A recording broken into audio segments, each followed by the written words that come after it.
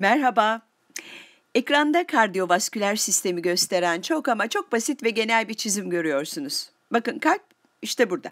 Bunlar organlara kanı ulaştıran atar damarlar. Ve bunlar da kanı organlardan alıp kalbe geri getiren toplar damarlar. Ekranda bu şekilde bir çizim görüyorsunuz çünkü nörojenik şok söz konusu olduğunda kardiyovasküler sistem bundan ciddi şekilde etkilenir. Peki, nörojenik şok nedir? Nörojenik şok, sinir sistemi fonksiyonlarını yerine getirmediği durumlarda ortaya çıkar. Bunun farklı sebepleri olabilir. En sık karşımıza çıkan durum travmadır. Örneğin hastanın omuriliğinde ciddi bir problem varsa ya da yanlış bir epidural uygulaması sonucu bazı sinirler ciddi biçimde hasar gördüyse nörojenik şok ortaya çıkabilir. Nörojenik şokta vasküler tonus kaybolur ve periferik kan birikimi yaşanır. Kalbe ve damarlara tonusu sağlayan sinir sistemidir. Bu tonusa sempatik tonus adı verilir. Bunu kasların işleyişine benzetebiliriz. Esnediğinizde kasların maruz kaldığı bir gerginlik söz konusudur. Bu kan damarlarının tansiyonunu düzenleyebilmek için sürekli maruz kaldıkları bir durumdur. Kan damarları kan akışını düzenleyebilmek için zaman zaman kasılır ve büzülürler. Buradaki amaç ise kan akışının ileri doğru devam etmesidir. Kan damarlara çarptığında damar duvarları kanı geri teper ve ileri doğru ittirirler.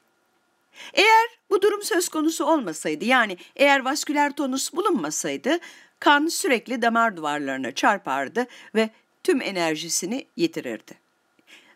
Bunun bir trambolin gibi olduğunu düşünebilirsiniz. Trambolin üzerinde zıplarken trambolin eğer yeteri kadar gerginse zıplamanız da o kadar kolay olur öyle değil mi? Bir de gevşek bir trambolin üzerinde zıplamaya çalıştığınızı düşünün. Neredeyse nafile bir çaba olur. Buna tam olarak zıplama bile diyemeyiz. Evet, işte damarların içinde olup biten de aynen budur. Damarlar gevşediğinde kanı ileri doğru itemez. Az önce de söylediğim gibi kalbe ve damarlara tonusu sağlayan sinir sistemidir. Peki ya sinir sistemi çökerse ne olur? kan damarları gerginliklerini kaybeder. Damarların gevşediğini gösterebilmek için bu kısımları silelim bakalım. Ha, bu arada damarların nasıl gevşediklerini daha iyi anlatabilmek adına abartılı bir şekilde çizeceğim. Bu atar damarlar söz konusu olduğunda kanın organlara ulaşamaması anlamına gelir. Kan damar duvarlarına çarptığında damar duvarlarının kanı geri teperek ileri doğru ittirmesi gerekir. Ama bu olmadığında kan çok yavaş bir biçimde organlara ulaşmış olur.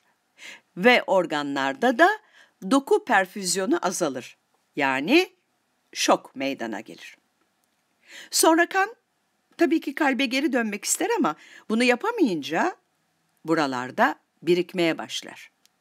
Başka bir deyişle venöz sistemden çıkamaz ve kalbe geri dönen kanın miktarı da önemli ölçüde azalmış olur. Bu da kardiyak çıkışı etkiler. Tansiyon ve doku perfüzyonunun kardiyak çıkış ve sistemik vasküler rezistansa bağlı olduğunu biliyoruz. Çizimde atar damarlarda sistemik vasküler rezistansın azaldığını göstermiştik. Bu durumda tansiyon düşer ve doku perfüzyonu azalır. Evet hemen not edelim.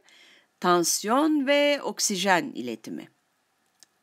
Doku perfüzyonu ile oksijen iletiminin aynı şey olduğunu da hemen ekleyelim. Evet, bunların ikisi de atar damarlardaki rezistansın azalması sonucu düşmeye başlar. Buna ek olarak toplar damarlarda kanı kalbe geri taşıyamaz. Kardiyak çıkışın atım hacmi çarpı nabız olduğunu hatırlıyorsunuz değil mi? Kalbe geri gelen kan miktarı azalırsa kanın pompalayabileceği kan miktarı yani atım hacminin de azalacağını söyleyebiliriz. Kalbe geri dönen kan miktarının azalması atım hacmini de azaltır ve sonuç olarak kardiyak çıkışta düşer. Bunun tansiyonu ve doku perfüzyonunu olumsuz yönde etkileyeceğini söylememe gerek yok herhalde. Vasküler tonus olmayınca kardiyovasküler sistemde çökmeye başlar.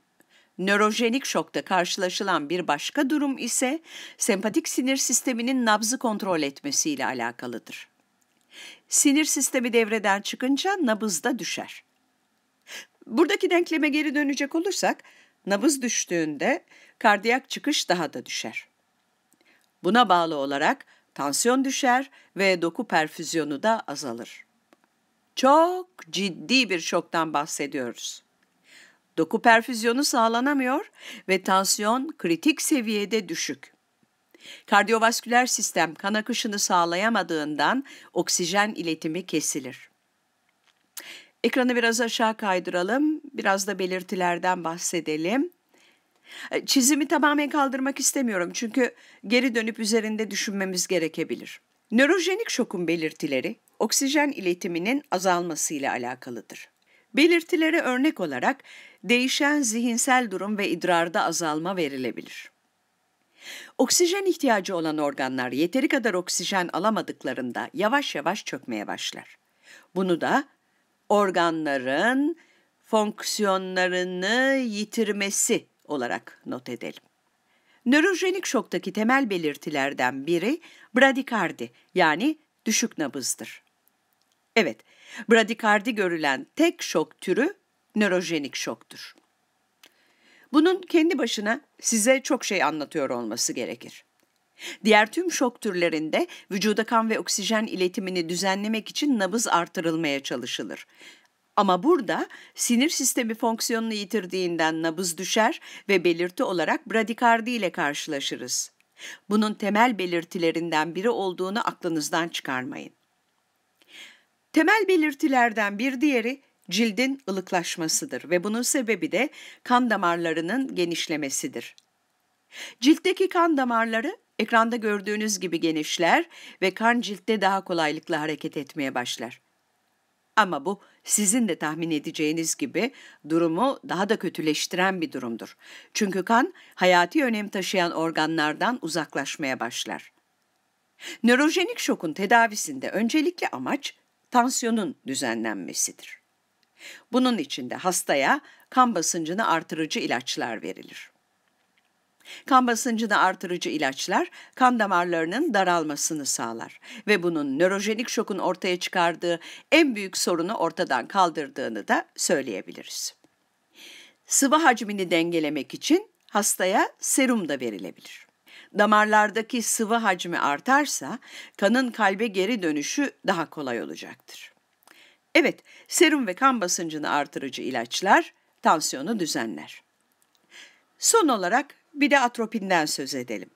Atropin, parasempatik sinir sistemini engelleyen bir ilaçtır. Başka bir deyişle sinir sisteminin rahatla ve gevşe kısmını devre dışı bırakır ve savaş ya da kaç modunu devreye sokar. Savaş ya da kaç modu nabzı yükseltir. Atropin nabzın yükselmesini sağlayarak kardiyak çıkışı artırır ve kanın tüm kardiyovasküler sisteme pompalanmasına yardımcı olur. Hoşçakalın.